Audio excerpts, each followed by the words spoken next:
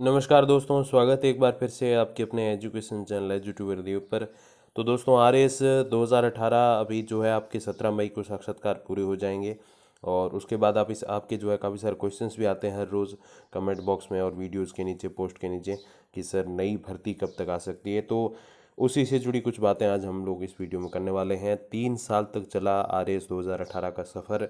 अगले महीने मिलेंगे राज्य सरकार को एक हज़ार इक्यावन नए अफसर। जी हाँ दोस्तों, आरएएस और अधीनस्थ सेवा भर्ती 2018 के द्वितीय और अंतिम चरण के साक्षात्कार जारी हैं। साक्षात्कार सात मई तक चलेंगे।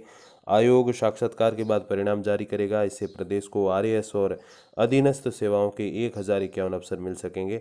आयोग ने आरएएस और अधीनस्थ सेवाएँ भर्ती के आवेदन 2 अप्रैल से 2018 जो 2 अप्रैल दो, 2018 से मांगे थे। आवेदन प्रक्रिया जून तक चली। पाँच अगस्त को आर प्रारंभिक परीक्षा कराई गई। इसका परिणाम तेईस अक्टूबर 2018 को जारी हुआ लेकिन प्रारंभिक से मुख्य परीक्षा और साक्षात्कार तक याचिकाओं ने पीछा नहीं छोड़ा तो उन्होंने बिल्कुल कोर्ट सुप्रीम कोर्ट तक गए। मैंने पिछले वीडियो में आपको अपडेट भी दी। याचिकाओं की अड़चने दूर होने के बाद आयोग साक्षात्कार करा रहा है। पहले आरएस के 405 पद, अधीनस्थ सेवा के पाँच सौ पचहत्तर पद और टीएसपी क्षेत्र के सैंतीस पद, टोटल एक हज़ार सत्रह। बाद में एमबीसी के चौंतीस पद बढ़ने से कुल एक हज़ार इक्यावन पद हो गए हैं। सात मई को साक्षात्कार खत्म होने के बाद रिज़ल्ट जारी होंगे, ज्वाइनिंग्स वगैरह होंगी। सरकार को तीन साल बाद अवसर मिलेंगे। और दोस्तों, सारी कहानी तो आपको पता ही है, राजस्थान हाईकोर्ट की सिंगल बेंच ने प्रश्न संख्या ग्यारह और बाईस को हटाने और नए सिरे से परिणाम जारी करने का आदेश दिए। फिर इसके खिलाफ आयोग ने हाईकोर्ट की खंडपीठ में याचिका दायर की। हाईकोर्ट के आदेश अनुसार 25 और 26 जून 2019 को आर एस मेन्स परीक्षा कराई। फिर सुरज्ञान सिंह और अन्य ने प्रारंभिक परीक्षा के कट ऑफ़ मार्क्स को लेकर याचिका लगाई। बीते वर्ष जून में आयोग ने राजस्थान हाईकोर्ट में विशेष प्रार्थना पत्र दायर किया। सरकार ने भी आर मुख्य परीक्षा के लिए आरक्षित अभ्यर्थियों को बुलाने के नियम में बदलाव किया। इसके बाद आयोग ने 9 जुलाई 2020 को मुख्य परीक्षा परिणाम जारी किया। फिर पहले जो सात दिसंबर 2020 से तेरह जनवरी 2021 तक जो प्रथम चरण के साक्षात्कार होने थे, लेकिन वो नहीं हो पाए क्योंकि कविता गोदारा वाली याचिका, जो सबसे फ़ेमस याचिका मैं कहूँ तो गलत नहीं है। तो 9 जुलाई 2020 को उसका जो है मुख्य परिणाम जो है वो रद्द कर दिया गया।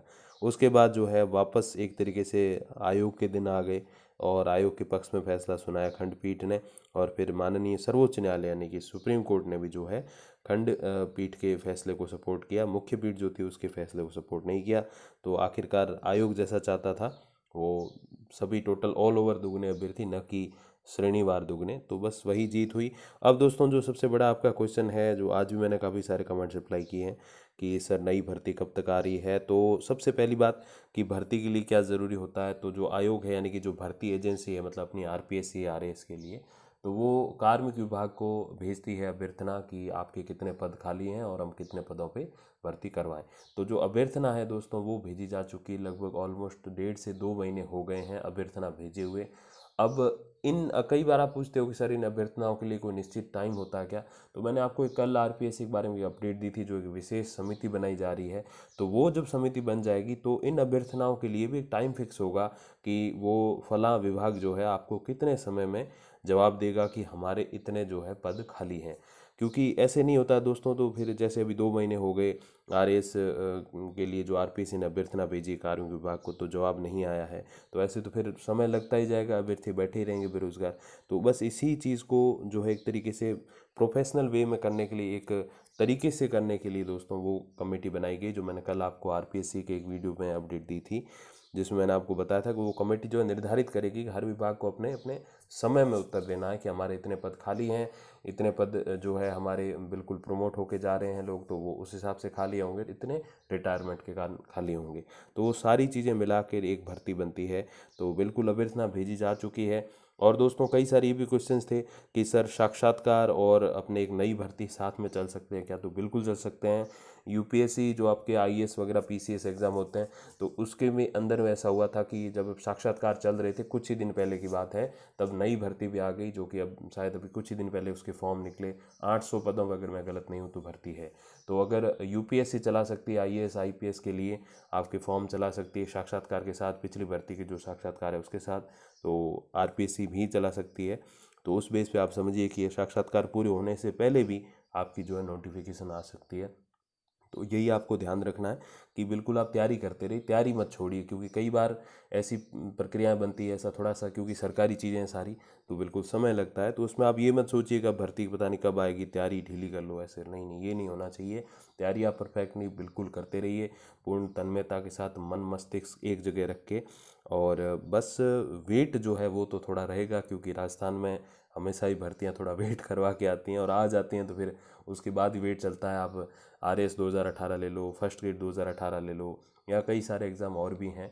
मैं यहाँ गिनाने बैठूँगा तो वीडियो दस मिनट का हो जाएगा तो वो सब बातें नहीं करेंगे। सीधी सी बात दोस्तों यही है कि आप जो है वैकेंसी का वेट तो करिए बट एक सकारात्मक माइंड के साथ जल्द ही वो आने वाली है, क्योंकि अब सुप्रीम कोर्ट से ऊपर तो फिर अभ्यर्थी कहाँ जाएँगे? तो सुप्रीम कोर्ट ने फैसला सुना दिया है आरपीएससी के पक्ष में तो बस ये सात मई को, यानी कि अब कितने दिन रह गए?